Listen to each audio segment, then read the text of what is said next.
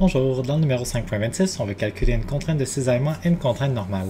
On nous dit qu'il y a un 20 mm ici de hauteur où est-ce que le boulon est serré, puis on nous donne la force qui est suspendue de 1 kN. Donc, première chose, au A, on demande de calculer la contrainte normale, force divisée par surface, la force est 1 kN, donc 1000 N. La surface qui va être importante ici, c'est la surface qui est perpendiculaire à la force, puisque la force est vers le bas. La surface va être à l'horizontale. C'est la surface du cercle qui est euh, en dessous ici. Si on regarde, c'est la surface du cercle qui est là. On nous donnait le diamètre.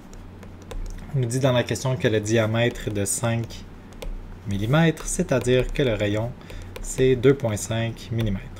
Si je veux avoir la surface, je vais faire pi fois le rayon qui est 2.5 mm au carré.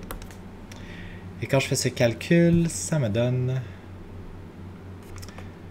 que la contrainte est de 50,9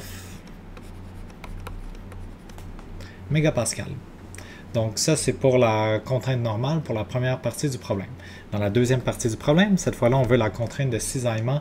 Je vais utiliser la surface qui est parallèle à la force. J'ai une force qui est à la verticale. Je vais donc avoir besoin d'une surface à la verticale. L'endroit où est-ce qu'il y a le serrement, c'est l'endroit qui est ici. Fait que ça va être la surface d'un cylindre.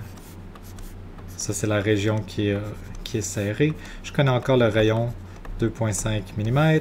Je connais la hauteur ici 20 mm. Donc pour la deuxième partie, pour calculer le cisaillement, je vais prendre la force, mes newtons, puis cette fois je vais diviser par la surface qui est 2pi fois le rayon, pour avoir la circonférence du cercle, multiplié par la hauteur qui est de 20 mm. Au total, ça va me donner une contrainte en cisaillement de 3.18 mégapascal.